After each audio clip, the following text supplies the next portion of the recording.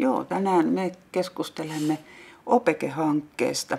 Tässä on koolla tuleva OPEKten, OPEKen projektipäällikkö Anu Raudasoja Hämeen ammattikorkeakoulusta ja minä olen Seija Mahlamäki Kultanen. OPEKE-hanketta on nyt takana noin vuoden ajan ja on aika pysähtyä vähän katsomaan, mitä on saatu aikaan. Opetus- ja kulttuuriministeriö lähetti arviointikyselyn ja meidän väet on sitä kyllä kiitettävästi lukeneet ja arvioineet ja sitten täyttäneet niin, että nyt tähän mennessä on jo 70 vastausta tullut. Mukana hankkeessa on taideyliopisto ja kaikki Suomen ammatilliset opettajakorkeakoulut. Se tarkoittaa, että Haakahelia, Jyväskylän ammattikorkeakoulu, Tampereen ammattikorkeakoulu ja Oulun ammattikorkeakoulu ovat mukana. Ja ovat myöskin sitten antaneet arviointipalautetta. Hanke on iso ja suunnitteluvaiheessa tätä valmistelua teki pieni ryhmä, joten nyt sitten tietysti ensimmäinen kysymys tulevalle projektin päällikölle on, miten hän kokee, että toimijat ovat päässeet mukaan tällaiseen laajaan kokonaisuuteen. No joo, tuohon kysymykseen oikeastaan aika helppo vastata, koska mä oon itse toiminut kolmessa osaprojektissa nyt kuluneen talven aikana ja kaikkien niiden osaprojektien osalta voi sanoa, että hyvin ovat matkaan päässeet. Ja meillähän on tietysti se iso ilo, että me tunnemme toisemme jo aikaisemmin, mutta totta kai jokaisella opekorkealla on uusia toimijoita mukana ja taideyliopiston kanssa on tehty jo aikaisemminkin yhteistyötä. Eli sillä tavalla voi sanoa, että voisiko nyt sanoa tällä vähän kliseisesti, että vanha jengi koossa taas, mutta vähän uusilla mausteilla ja uusilla ajatuksilla, niin sillä tavalla voi sanoa, että kiva lähteä työskentelemään. Tai on ollut työskennellä ja on tietysti lähteä tulevaan syksyyn sitten myöskin. Joo.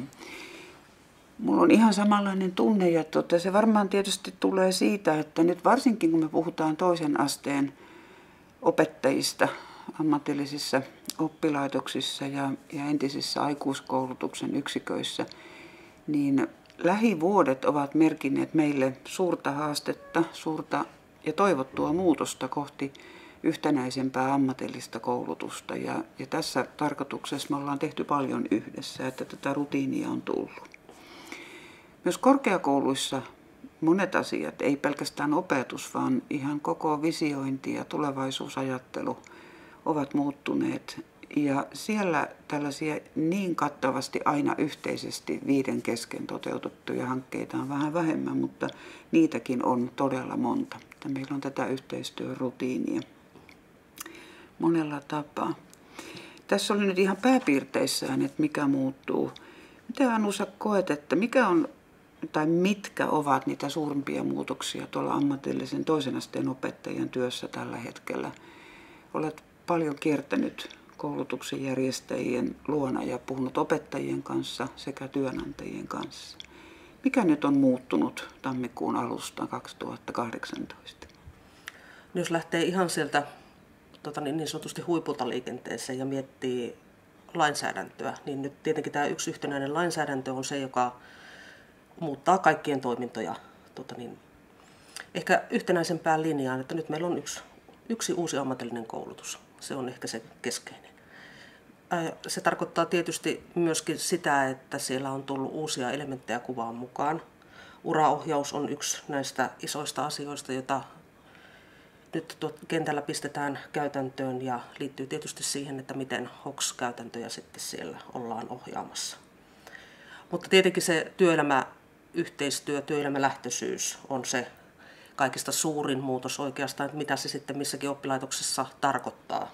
Että toisissahan on linjattu, että noin puolet opetuksesta pitäisi olla työpaikoilla tapahtuvaa osaamisen hankkimista. Että se on iso, iso asia silläkin tavalla, jos ajattelee, että työpaikkoja on eri tavalla saatavissa eri puolilla Suomea. Mutta se on hyvä, hyvä päämäärä, mutta myöskin se keskustelu siitä, että mikä on työelämäyhteistyön minimi, Joo. on tällä hetkellä aika lailla pinnalla. Että riittääkö se, että opettajana meen ja saan tehtyä koulutussopimuksen opiskelijalle ja perehdytettyä työpaikkaohjaaja, onko se riittävästi vai tarkoittaako se työelämäyhteistyö jotakin muuta?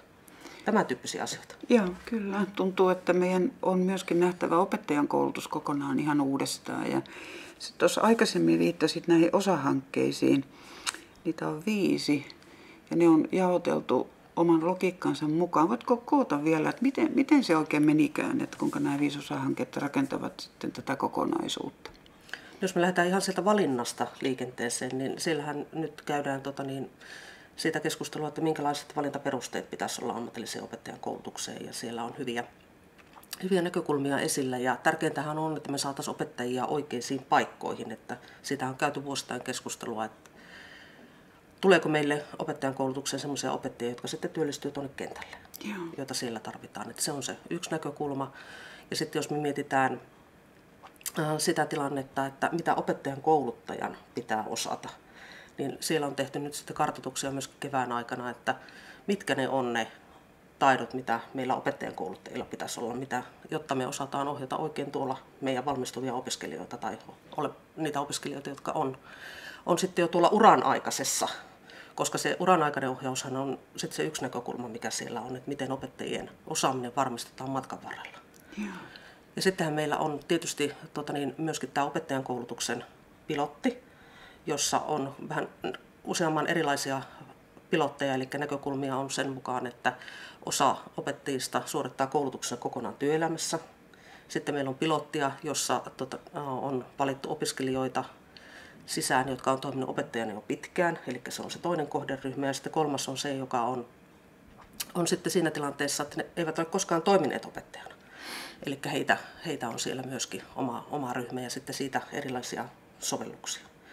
Et sinällään siellä on niin mielenkiintoisia asioita, että miten opettajaksi tullaan ja miten sitten sitä osaamista siellä matkan varrella pystytään kehittämään ja varmistamaan, että se on, se on jatkuma, että me voidaan tässäkin puhua elinikäisestä ohjauksesta sanan varsinaisessa merkityksessä. Joo, tämä kuulostaa siltä, että on kyllä todella paljon muuttunut se, mitä opettaja tekee työssänsä. Ja kun mä mietin tavallista opettajaopintoihin tulevaa, jolla ei ole sitä aikaisempaa työkokemusta opettajana, niin kyllähän varmaan monta kertaa ottaa niitä muistikuvia jostain omasta koulustaan. Ja, ja peruskoulu usein on tullut lukioreittiä ja, ja sitten mennyt johonkin korkeakouluopintoihin ja sitä kautta töihin ja sitä kautta sitten tulee meille.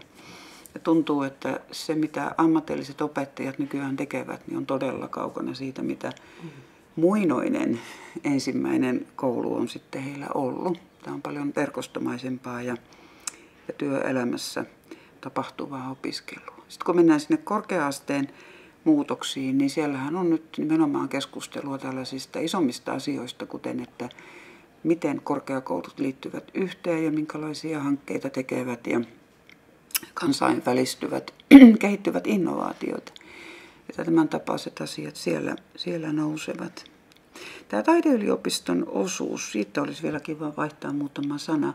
He ovat mukana siinä pilotoinnissa erityisesti. Joo, eli siinä on uran aikaisen osaamisen kehittämisessä Joo. ja tekevät siellä nyt sitten tuota niin, omaa pilottiansa siitä, että mitä se tarkoittaa nyt taidealoilla, mitä, mitä pitäisi opettajien osaamisen osalta olla siellä sitten kehittämässä. Ja siellä ollaan nyt vielä pilotin alkuvaiheessa, joten en osaa sanoa, että mikä on lopputulema, mutta joo, joo. Hy- hyvällä alulla.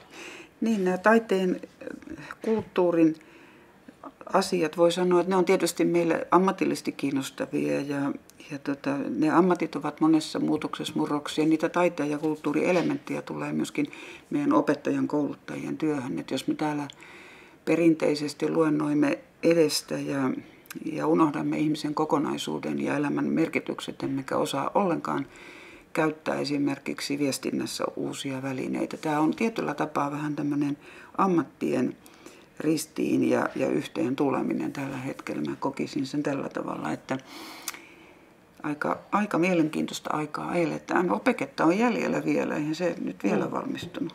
No voi sanoa, että ei onneksi, koska nyt ollaan ehkä pääsemässä parhaaseen vauhtiin näiden tota niin, eri eri osa-alueiden kanssa ja tuloksia alkaa sieltä nyt sitten tulla ensi lukuvuoden aikana näkyville ja nähdään, että mitä meidän pitäisi tulevaisuudessa sitten muuttaa ja kehittää ja miltä se näyttää se opettajan koulutus sitten tuossa 2020 tai 2019 niillä, hmm. niillä kieppeillä. Että sitä kohtihan tässä mennään ja yritetään nyt löytää ne parhaat helmetsiiltä ja uudistaa opetussuunnitelmia, että se ei vaan jää siihen, että me selvitellään asioita, vaan pistetään myöskin käytäntöön. Joo, kyllä. Ja sitten kun tässä on mukana kaikki ne, jotka asioista korkeakouluissamme päättää, niin on, on hyvinkin syytä uskoa, että ne asiat myös juurtuvat ja jäävät käytäntöön. Mm. Että ei oikein, ei oikein niin kuin kehtaa toisin toimia, kun ollaan porukalla näin liikkeelle lähdetty. Mm.